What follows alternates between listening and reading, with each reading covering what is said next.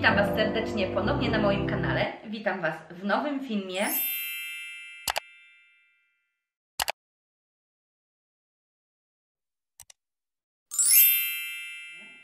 I dziś będzie taki film, o który bardzo mnie prosiliście.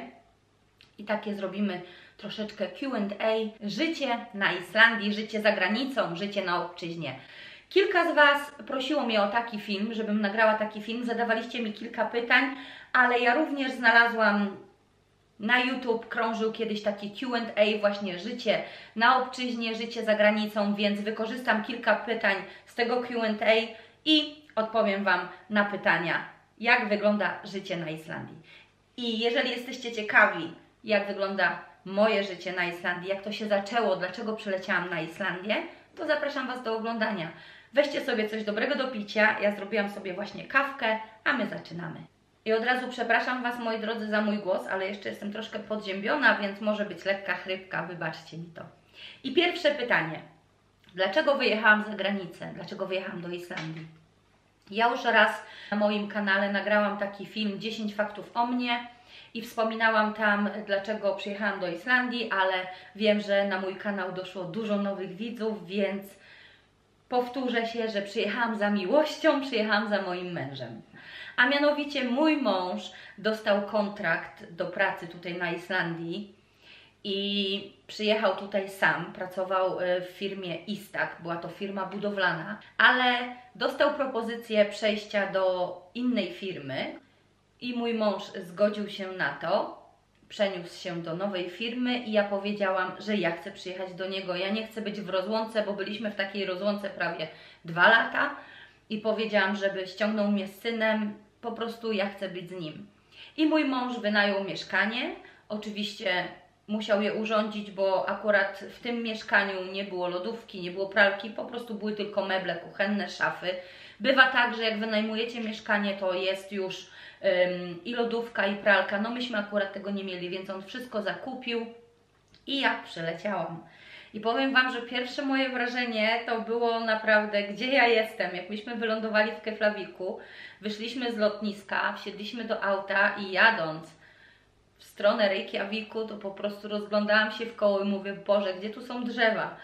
Po prostu zero drzew, a mm, krajobraz był taki, jak w, tak to wygląda do dnia dzisiejszego, zastygnięta magma, bo kiedyś wybuchł wulkan i wylała lawa i ta magma zastygła, więc są to piękne widoki, ale powiem Wam, że troszeczkę takie zadziwiające. Na dzień dzisiejszy mnie to już nie dziwi, kto do nas przyjeżdża i widzi właśnie ten widok pierwszy raz, to jest naprawdę bardzo zauroczony, jak również turyści robią sobie zdjęcia i, i no pięknie to wygląda, naprawdę pięknie. Drugie pytanie. Ile lat mieszkasz za granicą? W tym roku będzie już 13 lat, jak mieszkam za granicą, jak mieszkam na Islandii i powiem Wam, że bardzo szybko mi ten czas zleciał. Nawet ostatnio się zastanawiałam, matko, jak te lata lecą, jak ten rok po roku leci, 13 lat po prostu przeleciało mi tak szybko. Następne pytanie. I pytaliście mnie tutaj o edukację mojego syna, jak to tutaj wyglądało. A mianowicie mój syn w Polsce skończył, przepraszam, skończył pierwszą klasę gimnazjum. Przyjechaliśmy tutaj, tutaj już mój mąż załatwił mu szkołę, to była szkoła podstawowa i syn poszedł o jedną klasę wyżej ale jak już, be, jak już był zapisany do szkoły, ja musiałam tutaj ze szkoły wysłać zaświadczenie do szkoły do Polski, że on podjął naukę. To nie było tak, że sobie po prostu wyjechał i o nim, o nim ślad zaginął. Nie.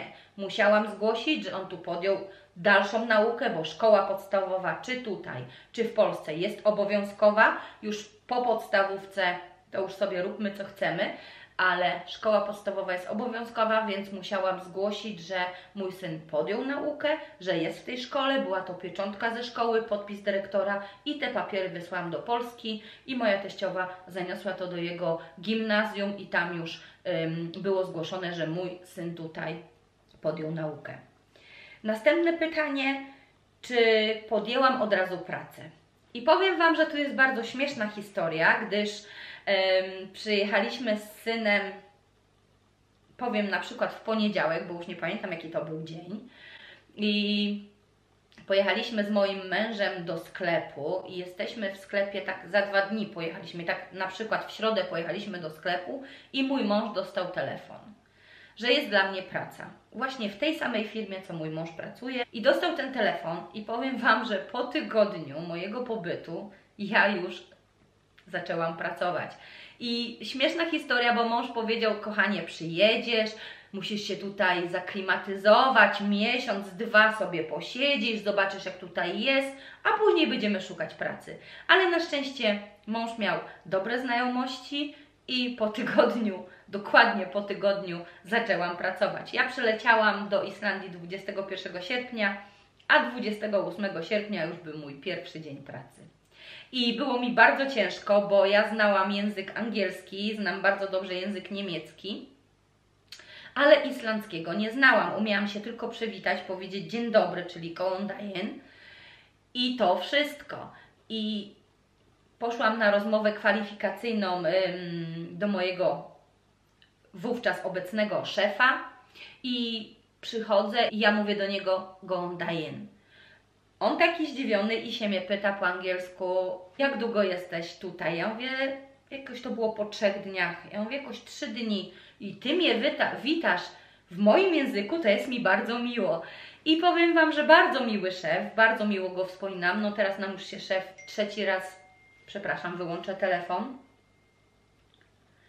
Teraz już się szef zmienił, trzeci, trzeciego szefa chyba mamy, bo się u nas bardzo dużo zmienia, ale bardzo miło wspominam tego szefa i bardzo miło wspominam tą rozmowę, bo tylko było od kiedy możesz zacząć pracę? Mogę już od jutra. To dobra, to masz tą pracę. Także powiem Wam, yy, tak yy, udało mi się znaleźć pracę, ale oczywiście mój mąż już ją wcześniej mi tam zaklepał. Także po tygodniu pobytu na Islandii zaczęłam pracować. I było mi na początku bardzo ciężko, bo ja porozumiewałam się głównie po angielsku. Większość Islandek no, nie za bardzo ym, znała angielski, więc dogadywałyśmy się na migi, rysowałyśmy albo coś takiego. Jak one siedziały między sobą i mówiły po islandzku, to dla mnie to była po prostu czarna magia. Dla mnie ich zdanie to była jak taka melodia. Ja w ogóle nie umiałam oddzielić y, wyrazu od wyrazu. Po pewnym czasie przyszło mi to coraz łatwiej, po pół roku już bardziej rozumiałam i już po roku zauważyły te moje babki, że i mój szef, że ja już coraz więcej rozumiem, więc zaczęły ze mną mówić tylko po islandzku, angielski poszedł na bok i tak się nauczyłam języka, po prostu przebywając y, razem z, tutaj z Islandczykami nauczyłam się języka islandzkiego. Teraz pytanie następne. Co mnie zaskoczyło w nowym kraju? Bardzo dużo. Po pierwsze, nowy kraj mnie bardzo zaskoczył, bo nie wyobrażam sobie, że Islandia jest tak pięknym krajem. Powiem Wam, że tutaj z dnia na dzień wszystko może nas zaskakiwać i głównie zaskakuje nas pogoda. Tutaj z minuty na minutę pogoda się może zmieniać i powiem Wam, że jadąc do Reykjaviku w ciągu, dajmy na to, 30 minut może padać deszcz, za chwilę może przymrozić, za chwilę pada śnieg, za chwilę jest słońce. Powiem Wam, że tu pogoda jest zmienna co minutę, także zaskoczyła mnie pogoda. Zaskoczyła mnie e, życzliwość Islandczyków. Powiem Wam, że to jest naprawdę kraj, to są ludzie bardzo życzliwi. Um, oni są tacy um, długo nie obrażają się na przykład. Oni jak się tam popstrykają między sobą, to jest chwila i oni już nie pamiętają, że między sobą mieli jakieś tam, y, jakieś zgrzyty. No my Polacy jesteśmy bardziej tacy, ciężko nam jest zapomnieć, ciężko nam jest wybaczyć, jesteśmy tacy bardziej pamiętliwi, a oni nie. Właśnie ta ich życzliwość jest naprawdę bardzo zaskakująca. Jak również zaskoczyła mnie ich cierpliwość. Ja już raz mówiłam, opowiadałam o, o Islandii i raz mówiłam na moim kanale o tej cierpliwości, że potrafią w sklepie do kasy, stanąć w kolejce. Oni się nie denerwują, że przed nimi jest, nie wiem, z pięć osób więcej. Oni potrafią stać, rozmawiać, zero stresu. Taka jest u nich naprawdę ta cierpliwość wrodzona, bo my Polacy zaraz już, gdzie się Pani wpycha, ja tu stałam w tej kolejce, proszę przede mną nie stawać. A tu nawet potrafią, powiem Wam, że mm, na przykład ja mam dwie rzeczy, a ktoś jest przede mną i ma cały koszyk, to potrafią mnie przepuścić. Niech Pani przejdzie szybciej, y, sobie zrobi zakupy, ja i tak mam czas. Także ta ich cierpliwość ym, troszkę mnie zaraziła, bo powiem Wam, że będąc w Polsce y, również no, potrafię przepuścić kogoś, jak ktoś ma mniej zakupów, albo no, stać cierpliwie w kolejce, no przyjdzie moja kolej, prawda? Także jest to fajne, jest to taki plus, taki ich, ich tutaj podejścia do życia. I jeszcze co mnie zaskoczyło, ja tutaj mam wypisane, żeby Wam nie zapomnieć y, powiedzieć o tym, zaskoczyły mnie ceny. Ceny różnych produktów i powiem Wam, że pierwsze moje pójście z mężem do sklepu spożywczego to było tam oczywiście y, w tysiącach, w setkach ceny i tylko się pytałam, kochanie, czy to jest drogie? Czy ja to mogę wziąć? Jak myślisz, to jest drogie? Nie znałam się w ogóle. Pierwsze tygodnie, pierwsze miesiące zakupów to były dla mnie po prostu ciężkie, bo ja nie wiedziałam, nie, prze, nie umiałam przeliczać na polskie pieniądze i, i nie wiedziałam, czy powinnam przeliczać, skoro już zaczęłam pracę na Islandii, skoro ym, mieszkamy tutaj i chcemy tutaj być i tutaj żyjemy, więc starałam się nie przeliczać, ale no, nie umiałam pojąć tych pieniędzy. Później y, po pewnym czasie dopiero jakoś mi to weszło do głowy, że to jest tyle i tyle, moja wypłata jest taka i taka i, i było mi łatwiej. I jeszcze jedna rzecz, co mnie tutaj zaskoczyła, brak zieleni. Jak Wam wspomniałam, jadąc z Keflawiku nie było żadnych drzew i Islandia naprawdę ma bardzo mało drzew, bardzo mało zieleni, dlatego oni o te drzewa dbają. My tu w Akranes mamy taki ładny park, ja Wam kiedyś go z zewnątrz pokazałam, jak on wygląda. Latem wybiorę się na pewno do wnętrza tego parku i Wam nagram, jak on w środku wygląda, jest przepiękny, ale naprawdę tak, drzew mają mało i teraz już z czasem coraz więcej zaczynają sadzić tych drzew, żeby było więcej zieleni. Następne pytanie. Trudności, które napotkałam po przybyciu do Islandii. Największą trudnością był język. Oczywiście język, żeby go po prostu, żeby po prostu mówić w ich języku, to było mi na początku ciężko. Pamiętam na samym początku naszej pracy, jakoś tak po roku czy po dwóch, wysłali nas na kurs islandzkiego wszystkich Polaków i mieliśmy za to oczywiście płacone, nas to nie, nic nie kosztowało i jeszcze nam płacili dodatkowo, jakbyśmy byli po prostu na nadgodzinach. To było naprawdę bardzo w porządku z ich strony. I tam przeszłam taki jeden kurs, ale powiem Wam, że z tego no, nauczyłam się troszeczkę pisać, nauczyłam się troszeczkę czytać, ale ten kurs nie wniósł tyle, co po prostu przebywanie z Islandczykami, żeby nauczyć się tego języka. Ja porozmawiałam się na początku po angielsku, było, było mi łatwiej również pojąć język islandzki, nauczyć się go, gdyż znam niemiecki. I Islandczycy mają bardzo dużo zapożyczonych słów z angielskiego, z niemieckiego. To jest taki język skandynawski, że naprawdę niektóre wyrazy to ja do dnia dzisiejszego nie potrafię wypowiedzieć, ale, ale jest mi teraz łatwiej, ale na początku tak, trudności to był język. Następne pytanie. Czy lubisz mieszkać za granicą? I powiem Wam tak. Lubię tu mieszkać. Ja tu na Islandii czuję się bezpiecznie.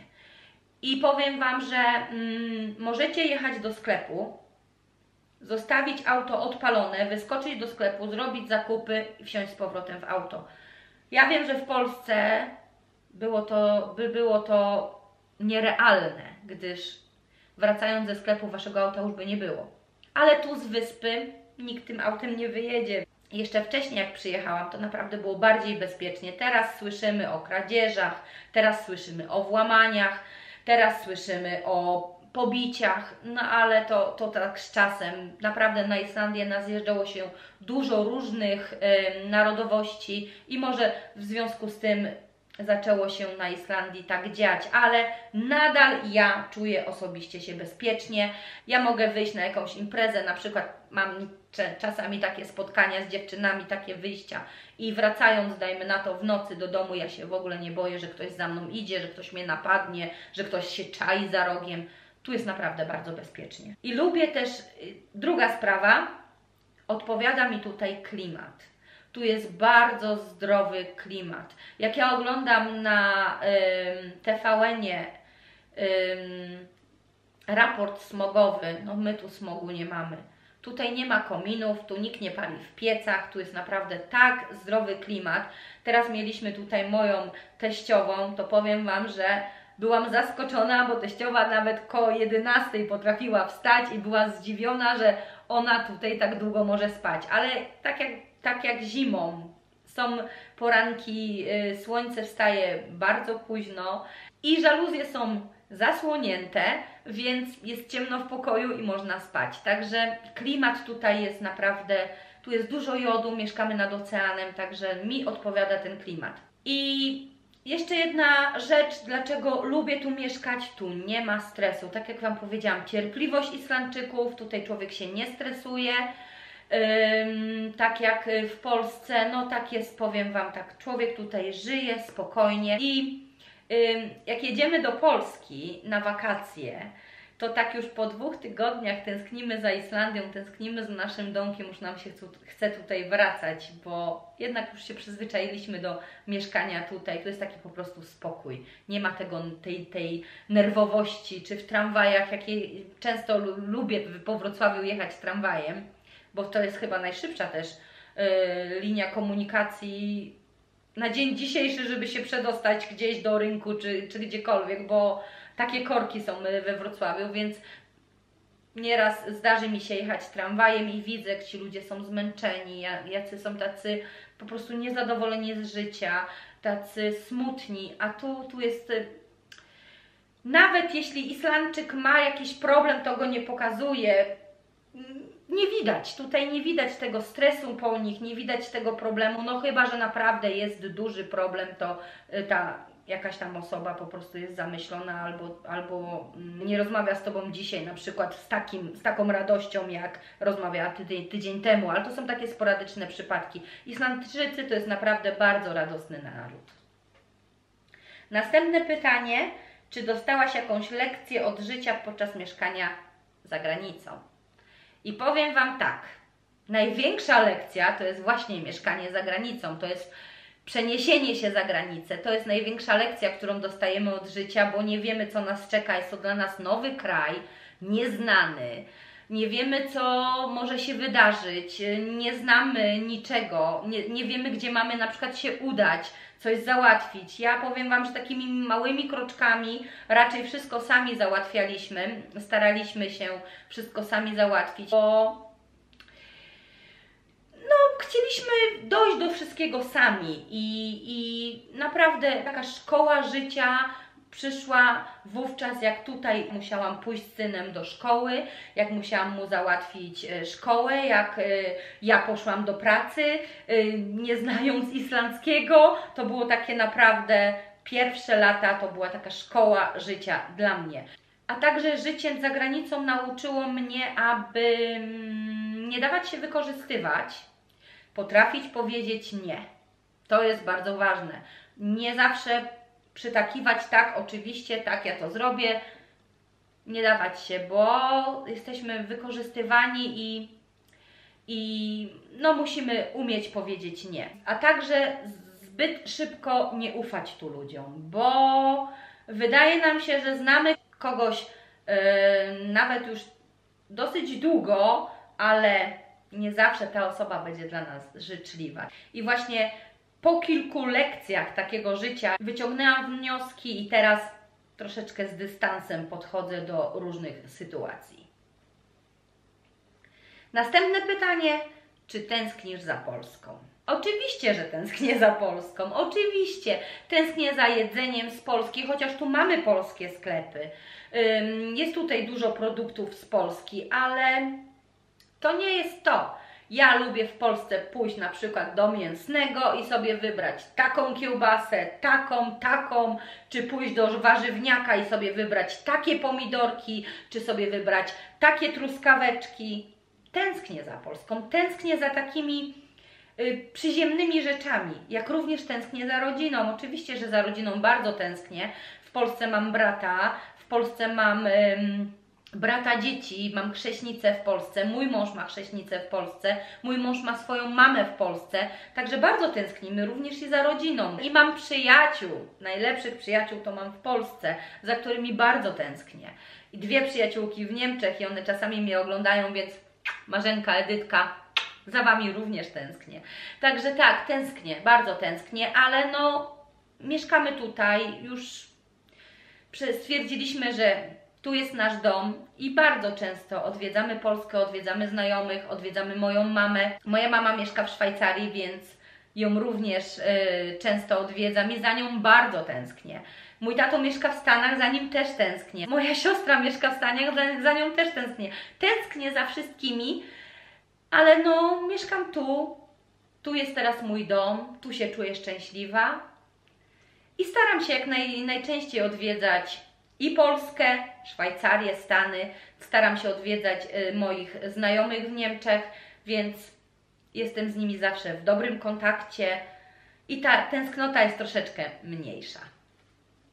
Następne pytanie, czy przeprowadziłabyś się z powrotem do Polski? Na dzień dzisiejszy nie.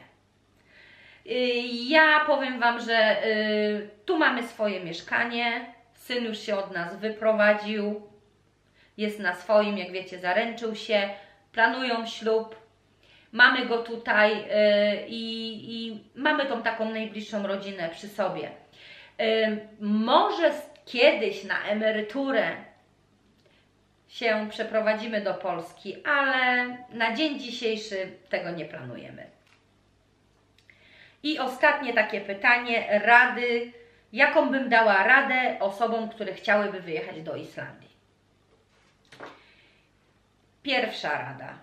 Jeżeli chcecie przyjechać do Islandii, ważne, żebyście tu mieli kogoś, kto by Wam pomógł, żeby przyjechać na Islandię bez gotówki, bez jakiegoś zaplecza finansowego, nie dacie rady.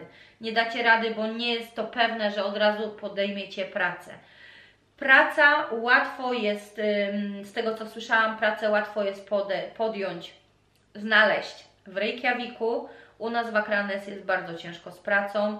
Y, tutaj bardzo dużo ludzi straciło pracę, jest na bezrobotnym, także większe miasto, stolica Reykjavik, tam możecie podjąć pracę. I co bym Wam radziła? Nie sprzedawajcie wszystkiego w Polsce i nie przyjeżdżajcie tu od razu, że chcecie tutaj zamieszkać. Najpierw stopniowo przyjedźcie, zobaczcie jak tu wszystko wygląda, czy Wam się tu spodoba, czy odpowiada Wam ten klimat, bo powiem Wam, że klimat naprawdę jest zmienny, pogoda jest bardzo zmienna, może Wam nie odpowiadać, że na przykład zimą są sztormy, nie każdemu to odpowiada, bardzo dużo ludzi narzeka, że o Jezu, znowu sztorm, znowuż wieje, opada, i tak, no, nie zawsze można pojechać do Reykjaviku, gdyż tunel jest zamknięty, bynajmniej u mnie, z mojego miasteczka, ale jak również drogi, gdzieś jak chcecie się dostać, również mogą być drogi zamknięte, więc pogoda tu jest różna, więc musielibyście przyjechać, yy, zorientować się, jak tutaj jest, nawet najlepiej przyjechać na wakacje, jakieś 2-3 tygodnie, zobaczyć jak jest na Islandii, zorientować się, a dopiero później pomału podejmować pewne decyzje, bo jak Wam wspomniałam, ja przyjechałam już na gotowe, ja już przyjechałam na przetarte szlaki przez mojego męża, on już tutaj był, on wiedział jak tutaj sytuacja wygląda, on już się bardziej w tym orientował, więc ja przyjechałam do niego. Ale jeżeli, przepraszam, poczekajcie, wezmę łyka kawy, bo już mi w gardle zaschło. Ale jeżeli nie macie do kogo przyjechać, tak chcecie przyjechać w ciemno, to naprawdę zaplecze finansowe musicie mieć. Także tak, moi drodzy, tak wygląda życie moje na Islandii.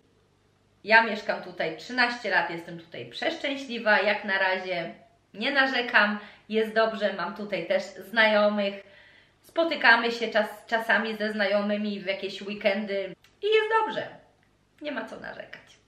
I to by było na tyle, moi drodzy. Mam nadzieję, że mniej więcej odpowiedziałam na Wasze pytania, które mi zadawaliście i byliście ciekawi, jak to wygląda z mojej strony. Mam nadzieję, że zaspokoiłam Waszą ciekawość.